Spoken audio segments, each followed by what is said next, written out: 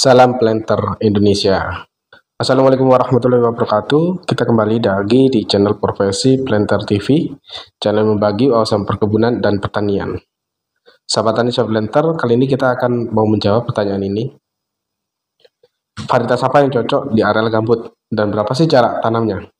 Pada dasar sahabat tani sahabat planter, kita tahu bahwasanya areal gambut areal gambut di sini dia adalah areal yang mana pH-nya rata-rata kurang netral itu yang pertama. Yang kedua areal gambut ini dia mudah menyusut. Artinya ketegangan daripada untuk tanaman ini rata-rata harus kita prioritaskan untuk jarak tanamnya. Karena porositas untuk istilahnya air ini adalah cepat. Cepat tersap dan cepat dia mengalami penurunan. Ataupun namanya istilahnya subsiden di dalam areal gambut ini harus kita betul-betul kita penanganannya dalam penentuan varietas sahabat transplanter. Dalam penentuan varietas menentukan juga jarak tanamnya.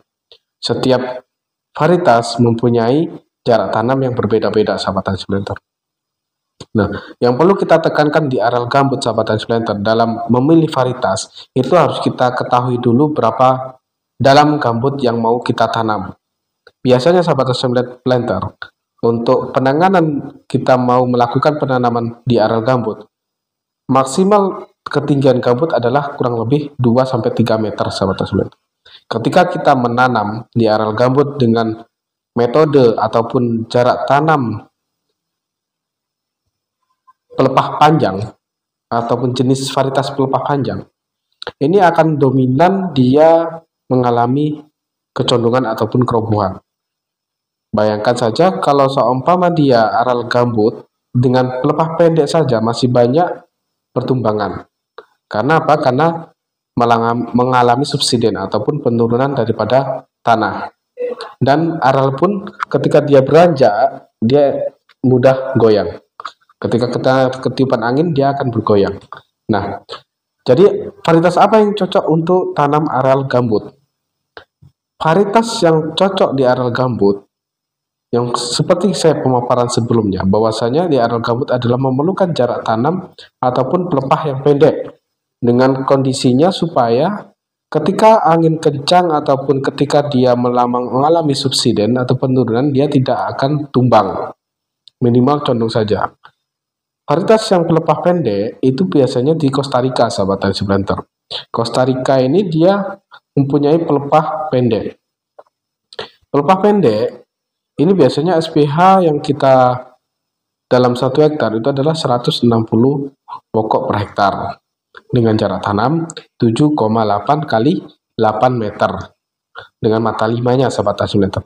Kemudian untuk kita menanggulangi istilahnya kecocokan daripada bibit, siapa tahu dari sahabat tani seperti tidak cocok dengan bibitnya, bisa kita menggunakan yang sedang ataupun jarak tanam yang sedang. Varietas sedang adalah 142.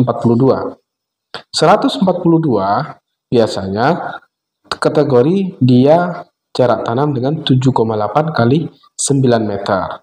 Dengan jarak antar baris dia 7,8, jarak antar pokoknya dia 9 meter. Pokok-pokok yang SPH 142 di antaranya yaitu berada di pada longsum, ya, topas, dan PPKS. PPKS pun tidak semua PPKS yang bisa kita terapkan dengan pelepah pendek, sahabat sebenarnya. Intinya, ketika kita melakukan penanam di pembi di areal gambut, kita harus memakai tanaman yang mempunyai pelepah pendek dengan ketentuan supaya ketika kita menanam pelepah panjang itu akan mengalami kedoyangan ataupun roboh sahabat seblenter. Oke sahabat seblenter, mudah-mudahan bisa dipahami dan bisa di, uh, dipraktekkan di lapangan. Dan semoga bermanfaat untuk salam planter Indonesia.